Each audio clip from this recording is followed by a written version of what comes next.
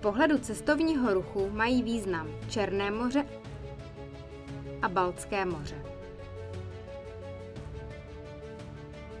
Nejdelší evropskou řekou je Volha, která ústí do Kaspického moře.